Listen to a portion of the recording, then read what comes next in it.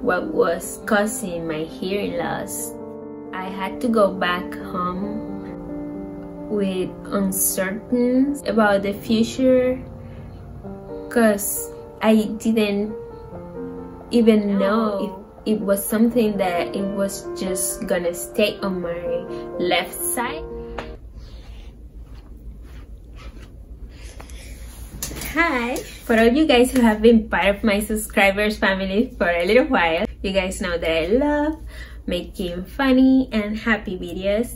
But today, today, I decided to share with you guys my hearing loss story, experience, and have been dealing with it for um, about six years or more and how am I doing today? So let's go back in the time like it was 2014 I was riding a car with friends and I received a call. So I picked my phone and I started talking to that person and the sign was not good. So I told her hey uh, do you think you can call me back later? Because seems like the sign is not good. That was what I was thinking. But for some reason I decided to switch it to my right ear and the sign was good. So I switched it back to my left ear and the sign was not good.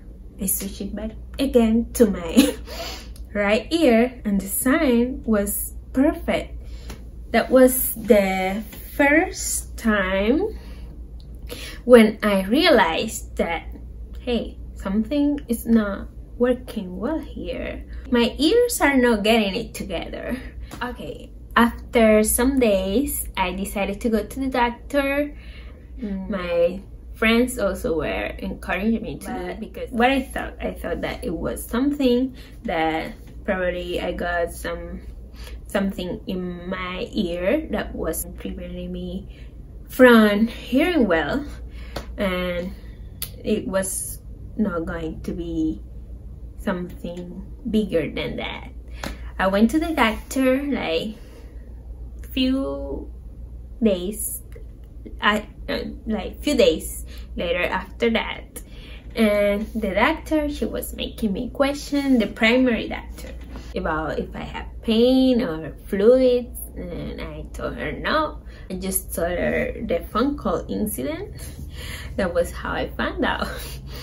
Uh, she started like looking with something, I don't know the name, in my ear to see inside. So no pain, no fluid, no nothing inside my ear. She referred me to an ENT doctor so a couple weeks after that i was able to go to the hospital to the specialist office and the same thing. She asked me the same questions. I told her the same phone call story. She used the same thing to look inside my ear and she found nothing so she wanted me to get a scanner and a hearing test done. I did it. After that, I went back to her office some days after that day with all the results, the scanner results, the hearing test results, and hoping that today I'm gonna know what is going on with my ear, with my left ear. Um, the scanner revealed that everything was okay with my brain, that was no tumor, everything was okay. Thanks God that at least that part was, I think was the main concern uh, for the doctors at that point that I was feeling no pain and anything so they wanted to you know make sure that everything was okay with my brain. The hearing test did reveal that uh, mm, I was losing my hearing. That was my first hearing test.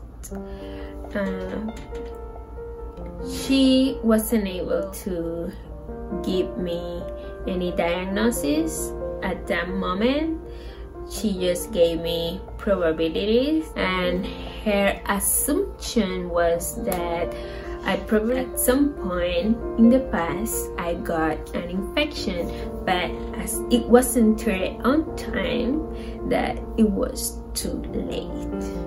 I felt really frustrated because I had to go back home with no answers. Scared, concerned. That was my first frustration. I got a hearing test, I got a scanner, and a specialist wasn't able to find what was causing my hearing loss. I had to go back home with uncertain about the future because I didn't even know if it was something that it was just gonna stay on my left side. I wasn't able to get a treatment because I didn't even have a diagnosis. So it was very, very frustrating for me. Tengo sueño.